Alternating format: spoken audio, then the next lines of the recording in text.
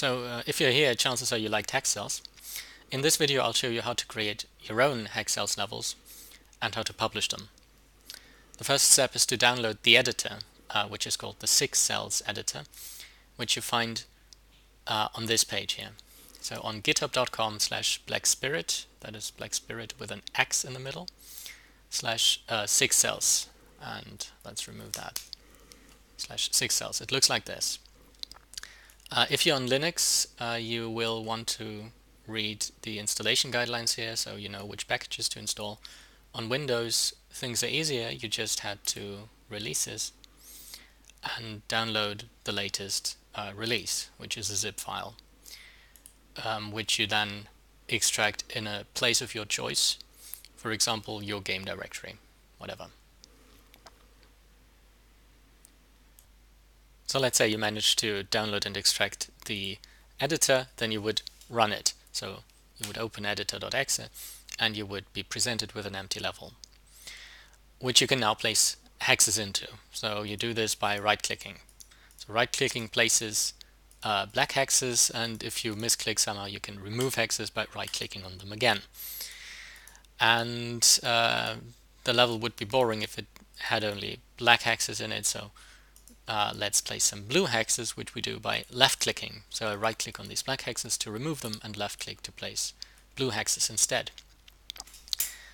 Now, uh, let's say I want to playtest this level. Um, I do this by pressing the Tab key, which presents me with this state uh, where I cannot do anything because I haven't revealed any cells yet. So we need to mark cells to be revealed at the start, which we do by pressing Alt and then clicking on a cell. Now if I press tab again I start from this state and I can indeed uh, start playing the level and do some deductions. Uh, now in this state I'm, I'm stuck because uh, I don't have enough information to proceed.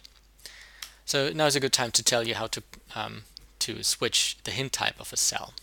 So I, I if I click on this too, um, it will switch to disconnected to because these blue hexes are disconnected. If I pre press again, I get to question mark. If I press again, I'm back at the 2 again. So left clicking on, on it will cycle through the hints. And if I do it on this too, then, um, well, because they are connected, I will get these uh, connectedness information instead. Alright, so now if I press tab again, I'm, I'm back in the state where I left off and I continue solving the level, and indeed this is a very simple level. Okay, I haven't shown uh, you how to place column type hints yet. So let's do this. You click into a cell and you drag uh, to the direction you want to want the, the the the number to be. So if I if I click here, drag up, I get this column hint. If I drag here, I get this column hint. I remove them by right-clicking on them, and if I want uh, to switch the type, I left click on it and uh, you see how this works. Alright, now let's talk about the solver functionality. So I start the level again from the beginning. Now what I can do is I can press solve one step and what this does is it looks at the state which uh, was only this this black zero being revealed and it deduces what can be revealed uh, with that information. So in, in this case, it would be these, these two hexes. And now if I use the functionality again, uh, I do so by pressing S, then uh, it deduces from this state. And if I, if I press it again, it will continue trying to solve the level.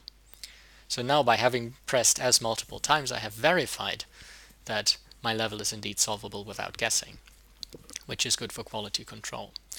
If I had uh, started the level in uh, with this state, uh, so with this hint at the 2, then I would get stuck. So let uh, you, you start over, by the way, by pressing play from start or pressing shift and tab.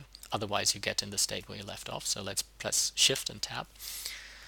And now if I press S multiple times, then the solver will get stuck here, which tells me that some information is missing in my level. Alright, so let's say uh, we are ready to publish this level now. So the first thing we'd have to do is to set the level information. So one important field is the author name, so who you are. Uh, the second is the title, where you can think of some creative name for the level. And then these two lines are what is displayed in-game as custom text. So for example, Matthew used this in the in, in late levels to say something like uh, columns contain an odd number of cells, which uh, we can leave blank in our case, or we could add a wit witty, witty comment or something, whatever we want. Uh, let's uh, add witty comment just to show you what how it is displayed. So if I go to the player now and uh, let's adjust the viewport, you can see that your title, uh, the title is now awesome level, uh, the author is displayed, and we have some some comments here. All right, so now that all the information is present, we can copy the level to the clipboard. Let's see what this does. So I'll show you what is in my clipboard by pasting it here in my text editor, and this is um, what's in there. So it starts with um, five uh, strings of meta information and then some some block that somehow resembles the level. So, and how is this used? Well, what you do is uh, you take this in your clipboard and you head over to Reddit. Uh, you head over to reddit.com slash r slash hexcells levels, which is the subreddit for um, for for posting these levels, which we created and then you do uh, submit a new text post and you paste your level in there and you choose some title my awesome level. And what you should include is first of all a tag that says that it's a level. Uh, it could also be a level pack for example it could be some meta discussion. So this is a level and you should um, add in parentheses um, an estimation of how difficult you think your level is. So this would be simple. Also, um, you might want, want to add some, some custom text. So for example, hey guys, check out my level. And then you would separate this with three stars from the actual level, which will display a horizontal line, which we'll see uh, later. So let's try this how this looks like. And and this is it here. So you see this is your your custom uh, greeting to the community and then you have this horizontal line and here a possibility to cleanly copy the level which people can then play in Hexcells Infinite themselves since Matthew implemented a functionality to play levels that uh, are, are currently copied into the clipboard. All right, and then uh, people can comment on your level. People can uh, upvote or downvote your level. So this should be downvoted. It's a really bad level.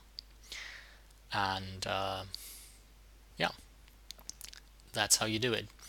Here in, in Reddit we have some, some more guides how to create and publish your levels, which is basically what I just said in this video.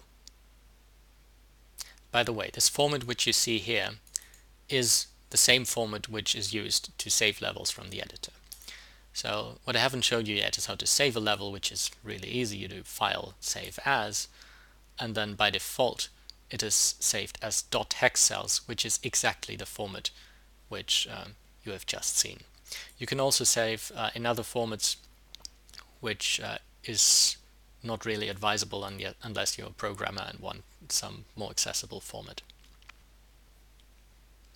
So now you should be all set to create your own levels. Uh, I hope you do. Uh, see you on Reddit. I hope you create some exciting levels.